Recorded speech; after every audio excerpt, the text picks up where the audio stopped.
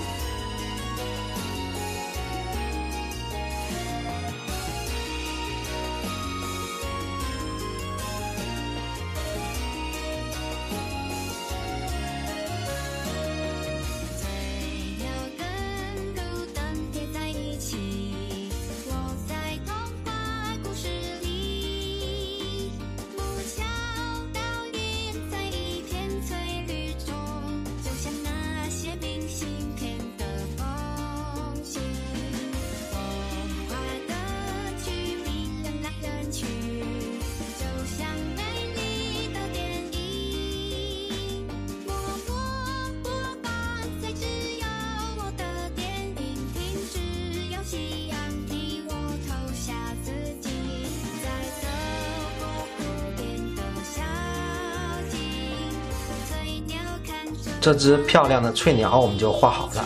翠鸟身上有好多种颜色，就比如说它有红色的嘴，啊，翠绿的头，还有蓝蓝的羽毛，还有金黄色的腹羽，啊，其实它它有红红的爪子，但是呢，这个我们这只拍的翠鸟呢，它爪子在身子下面看不到，所以说翠鸟是特别漂亮的一种鸟，它抓啊一些小鱼，摄影师呢特别喜欢拍翠鸟，尤其它捕鱼的那个刹那的瞬间。小朋友呢，以后可能会在很多的摄影作品里面看到翠鸟。好了，我们今天呢就照一幅摄影作品来画一下翠鸟。